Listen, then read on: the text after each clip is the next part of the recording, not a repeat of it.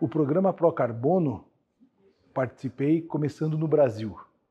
Começamos com 40 fazendas, depois para 200 fazendas e hoje tem mais de 2 mil fazendas. Mas o programa foi se expandindo na Argentina, nos Estados Unidos e agora em outros países também.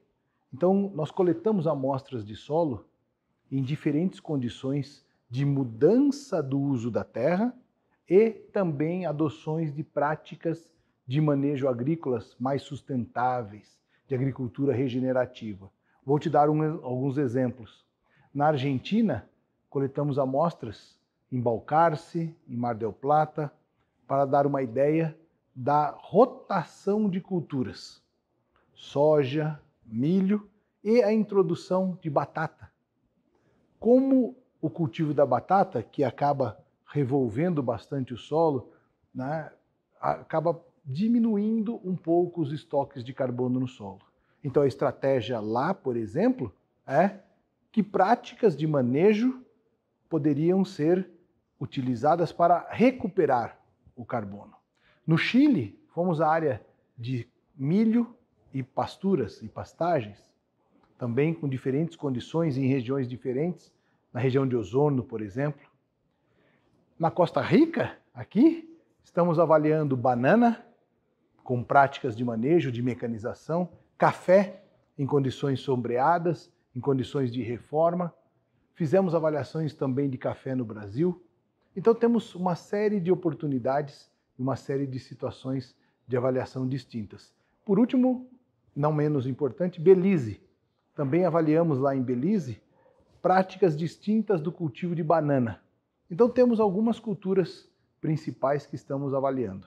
Sobretudo, como os solos vivos podem ajudar, sugerindo e implementando práticas de manejo que recuperem o carbono do solo que sequestrem carbono, que retirem gases do efeito estufa e sequestrem na planta e no solo. Até o momento, fizemos em alguns países apenas a linha de base, que é a referência, porque esses países não tinham situações já mensuradas de estoque de carbono, de sequestro de carbono.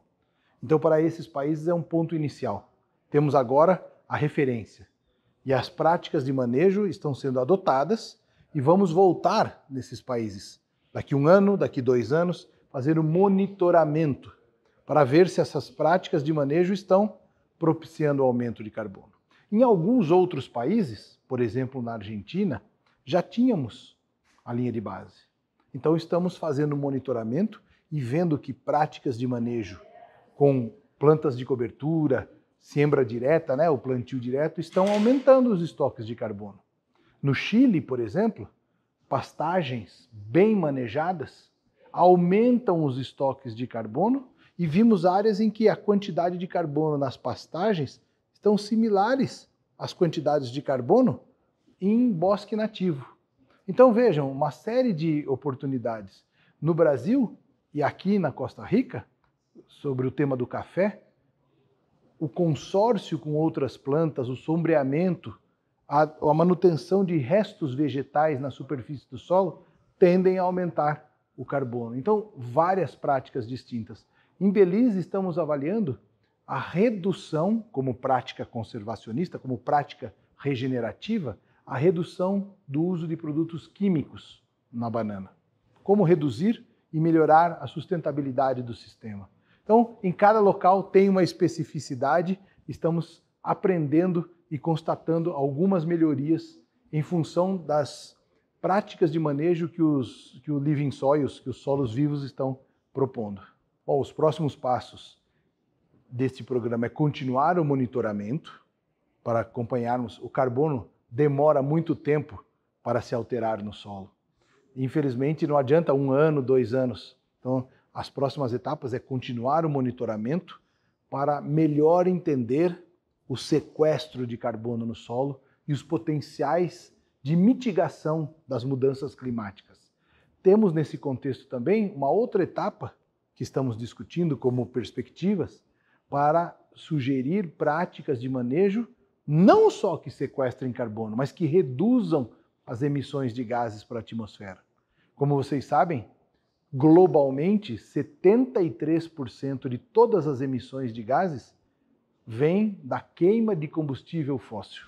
73%. Em torno de 20% vem da agricultura. Então, temos que contribuir para a redução.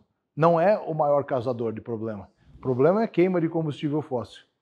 Mas a agricultura tem um papel fundamental. Além de produzir fibras, alimento, energia, ainda pode sequestrar carbono e emitir menos gases. É o único setor que pode fazer isso.